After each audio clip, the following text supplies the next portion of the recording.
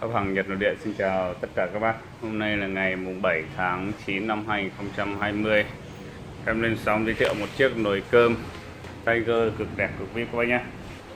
Các bác nào mà chơi ờ, đồ Nhật nội địa Mà các bác bỏ qua cái phần nồi cơm Thật sự là rất là thiếu sót. Nồi cơm Nhật thì được đánh giá và cả thế giới công nhận Nó là nấu ngon nhất thế giới các bác nhé. Vì các nước ăn ăn cơm thì trong đó một trong những nước ăn cơm thì có người Nhật ăn còn các nước châu họ không ăn rồi. Trên người Nhật họ rất chú trọng đến cái vấn đề là về cái nồi nấu cơm. Về cái nồi cơm nó thực sự là nó ảnh hưởng trực tiếp đến cái sức khỏe con người. Nồi cơm còn nấu chín nấu ngon thì mới anh không bị đau dạ dày đấy không ảnh hưởng sức khỏe. Về nồi cơm Nhật thì toàn bộ à, nhập về Việt Nam mình thì đa số tất cả đều là nồi uh, cao tần các bác nhé chứ còn nồi Việt Nam mình sử dụng bây giờ cả các bác có mua những cái nồi điện tử 2 đến 3 triệu thì đa số cũng chỉ là những cái nồi mâm nhiệt thôi. Những cái nồi mâm nhiệt thì rất rẻ tiền. Nó làm như là những cái bếp điện.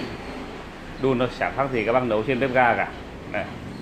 thêm dưa le vào còn đối với nồi cao tần thì nó thiết kế hoàn toàn khác nhau, hoàn toàn khác biệt luôn ạ. Nó sử dụng ờ, công nghệ như là cái bếp từ ấy, các bác.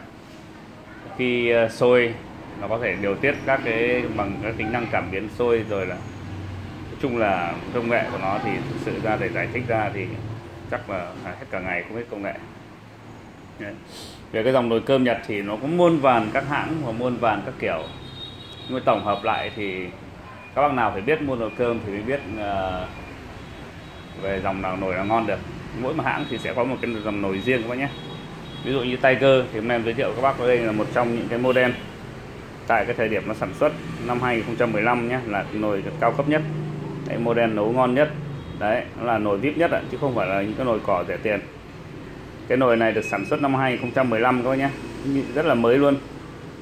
Ở các siêu thị bây giờ đang bán những cái model nồi như này là vào khoảng 22 triệu hơn. Đấy, hơn 22 triệu đấy các bác nhé. Rất là đắt đấy không phải rẻ đâu. Thì cả bên Nhật những cái nồi này giá trị mới còn nó hơn hơn 20 triệu đấy, đấy. Giờ em giới thiệu chi tiết về con nồi này nhé. Hình thức còn là rất là đẹp luôn ạ. Này sản xuất năm 2015 con này. Yeah. 2015 nhé. Đặc biệt là bọn ờ, Tiger này tất cả made in Japan luôn. Dành cho các bác nào thích made in Japan kỹ tính nhé. Đấy, sản xuất Nhật luôn nhé.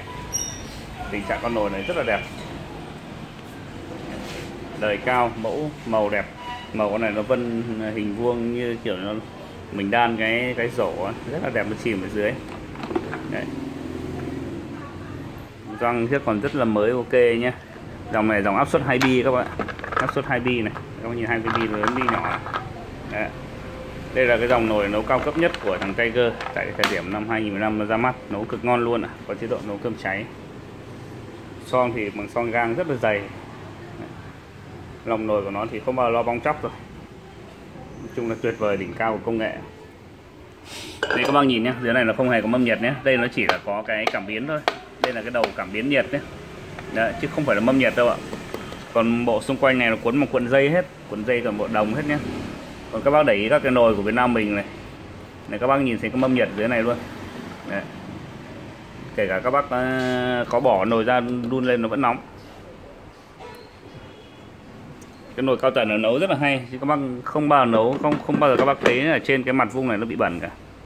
Đấy, nó sôi điều tiết làm sao, cái lượng sôi chỉ bùng lên ở cái mức độ nào đó thôi, thì nó lại giảm đi. Bùng lại giảm, bùng lại giảm, rất là hay chung là nồi cơm Nhật thì được đánh giá là cao nhất thế giới rồi. Đấy. con này em bán 3 triệu hai thôi nhé. Bác nào có nhu cầu mua nồi cơm này thì các bác alo cho em ạ. Đảm bảo các bác là ngon cực kỳ luôn, không bao giờ có một điều gì phải thất vọng cái nồi cơm này cả. Đấy. giá 3 triệu hai. Chưa có đổi nguồn, chưa phí vận chuyển. Xin chào các bác.